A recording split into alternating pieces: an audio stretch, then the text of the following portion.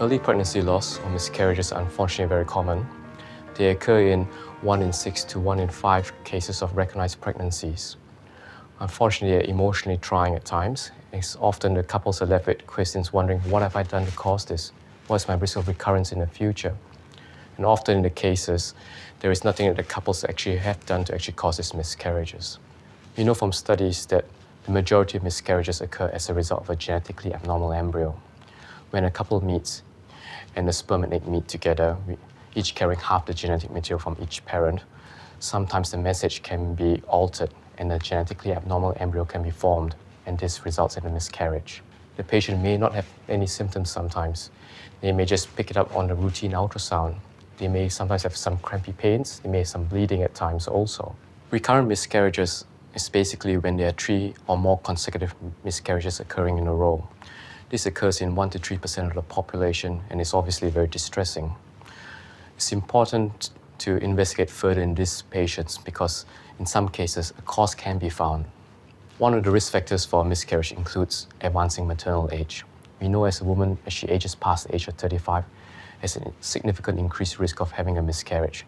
And this is partly due to a deterioration in her egg quality. Women are born with a finite amount of eggs from birth, as she grows older, the eggs also grow older, and as a result, the quality of the egg can deteriorate.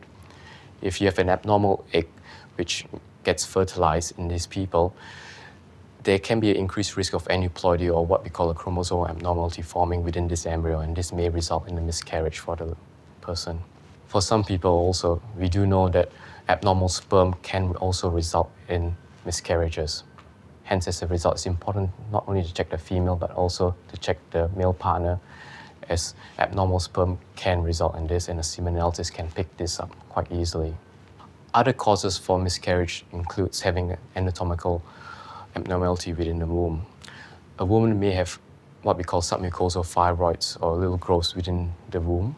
She may have large polyps, or she may have scar tissue within the cavity of the womb also she may be born with a septum, what is basically a scar tissue wall within the womb, which can, all of which, impact on implantation of an embryo and cause recurrent miscarriages.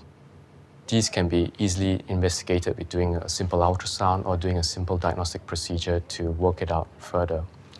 And often, with treatment of these conditions, we can actually improve the chances of conceiving as well as maintaining a pregnancy for the couple. Other causes of miscarriages also include endocrine disorders such as poorly controlled diabetes, as well as thyroid issues.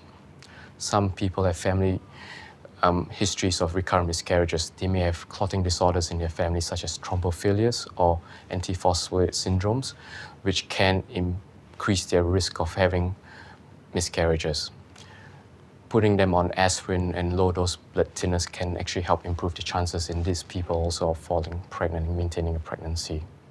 In a small group of people which are physically normal, they may carry a, a genetic abnormality within themselves which doesn't cause them any problems. But these can be passed down in their sperm or egg when they're creating them. And this is what we call balanced translocations. In these couples, it's important to test their genes to see whether they have this abnormality and we do know that with IVF treatment and pre-implantation genetic testing or PGD, we can actually help these couples to improve their chances of having a healthy baby at the end. If you're having issues with recurrent miscarriages, it's important to see a local doctor as they can do some preliminary investigations or refer you to a fertility specialist if need be. It's important to remember, despite the heartache and what's happening, that you do have a good chance of falling pregnant and actually having a baby at the end of the day.